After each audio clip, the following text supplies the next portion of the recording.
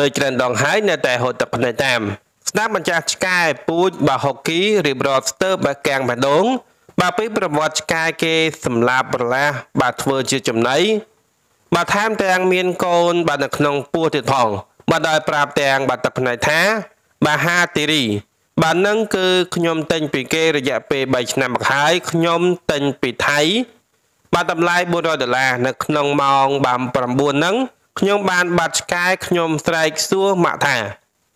បើការពីម្សិលមិញនេះបងប្អូនប្រហែលជាបានដឹងហើយចំពោះរឿងរ៉ាវដែលក៏ក្រើកមែនតើចំពោះការឡាយ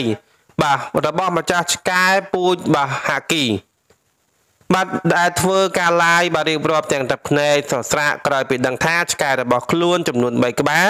បាទត្រូវបានគេសម្លាប់យកទៅធ្វើជាអាហារ បាទម្ចាស់ឆ្កែក៏បានបញ្ជាក់បន្ថែមនៅក្នុងបណ្ដាញសង្គម Facebook សំអាងការស្រីម៉ៅមង្គល ថាកូនអើយកូនទៅចោលម្ដាយហើយបាទទាំងកូនម្នាក់បាទទាំងកូនម្នាក់ទាំងចៅជាតិនេះបាទកូនរស់នៅជាមួយនឹងម៉ែត្រឹមពេលនេះបាទពេលខ្លះណាស់បាទពេលត្រឹមបាទពេលខ្លះណាស់ជាតិក្រោយបាទសុំឲ្យបាទសុំឲ្យខ្លាចជាមនុស្សរស់ក្បែរបាទម៉ែរហូតណាកូនបាទម៉ែ ឬក៏ម្ដាយបាទទទួលយកមិនបានទេបាទខាង Facebook ដដែលក៏បានបញ្ជាក់បន្ថែមទៀតថាបាទកូនខ្ញុំស្លាប់3នាក់បាទមេម្នាក់ឈ្មោះថាហាតាបាទហាតារី បាទពោះធំមួយខែនិងកូនពីរនាក់ទៀតឈ្មោះដូដូដូឌឺបាទនឹងដូដូ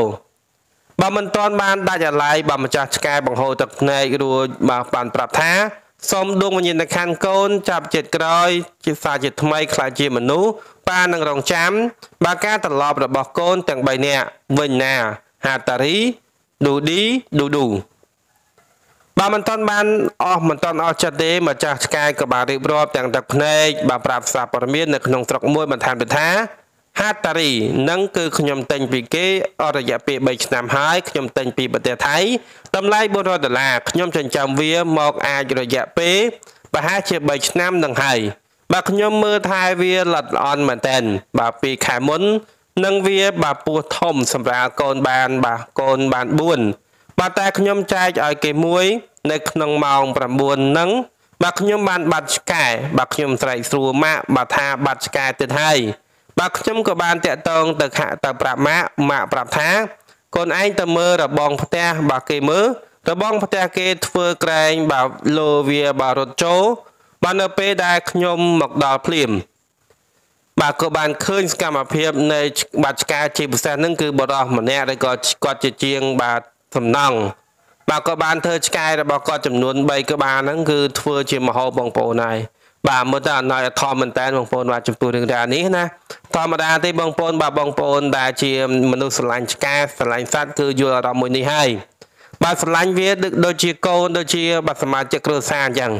ដល់ចុងក្រោយគាត់នៅរឿងខំមន់តិចតួចបងប្អូនណាលេងធ្វើស៊ីគ្នាបាទវះរបៀបវះប្រឡាក់វះធ្វើអីយ៉ាងណាទាំង3បងប្អូនគួរតែគិតមើលតើវាយ៉ាងម៉េចហើយចំពោះរឿងរ៉ាវនេះដែរទោះថា បើឆ្កែនឹងវាខំមន់ក៏ដោយទៅប្រាប់ម្ចាស់គេទៅថាអូឆ្កែនេះខំមន់ហើយកុំឲ្យវាមិនណាទៀតឬក៏យ៉ាងម៉េចបើបន្តនេះអត់ទេចាប់ធ្វើស៊ីតែម្ដងបងប្អូនបាននេះជារឿងរ៉ាវដែលហួចចិត្តណាហើយបងប្អូនបានទស្សនាវីដេអូប្រកបជាមានការអាណិតកាន់តែខ្លាំងជាងនឹងទៀតដោយសារតែបើឃើញស្រស់ស្រស់ពេកបងប្អូនបាទកាប់បលះចង់លក្ខណៈចង់ធ្វើមហូបហ្នឹងប៉ុន្តែម្ចាស់តើតន់ក៏មានការស្រែកយំបើយុទ្ធកប់ ធ្វើពិធីបោកឲ្យធុកបួងសួងឲ្យវាទៅបានសេចក្តីសុខទៅហើយជាស្រ័យផងចំពោះម្ចាស់ឆ្កែខ្ញុំនិយាយវានឹងកុំឲ្យខឹងអីចឹងណាបាទព្រោះថាបើវាក៏ជាសត្វឆ្កែហើយបើមិនបញ្ជាក់សត្វឆ្កែឬក៏អីហ្នឹងគឺគេមិនគេមិនអាចដឹងទេចំពោះរឿងរ៉ាវនេះបាទបងប្អូនមើលទៅគឺស្រស់ស្អាតមែនតើចំពោះឆ្កែហ្នឹងបាទគឺប្រភេទឆ្កែហុកគីបាទនេះជារឿងរ៉ាវថាបងប្អូនដែរបើយល់ល្អឈប់ទៅចំពោះរឿងរ៉ាវនេះ ជាពិសេសគឺចូលរួមដល់គ្នាកម្ចាត់ការហូបសាច់ឆ្កែបាទគឺសាច់ឆ្កែគឺឆ្កែគឺជាសត្វមួយដែលថា បាទគឺដឹងខ្លាំងណាស់ឬក៏ដឹងគុណមនុស្សខ្លាំងណាស់តែវានៅជាមួយណាគឺវាតែងតែបាទពេលទៅទៅណាមកណាវាមកទទួលយើង ហើយវាការពារប្រទេសយើងនិយាយទៅដូចជាសេនាយើងចឹងហើយបើយើងអាងអីសម្រាប់វាហើយយកធ្វើមហូបហូបមើលទៅគឺពិបាកភ្នែកណាបងប្អូនបាទ បាទហើយចំពោះព័ត៌មាននេះដែរគឺមានតែប៉ុណ្ណេះទេបាទសូមអរគុណសូមជម្រាបលា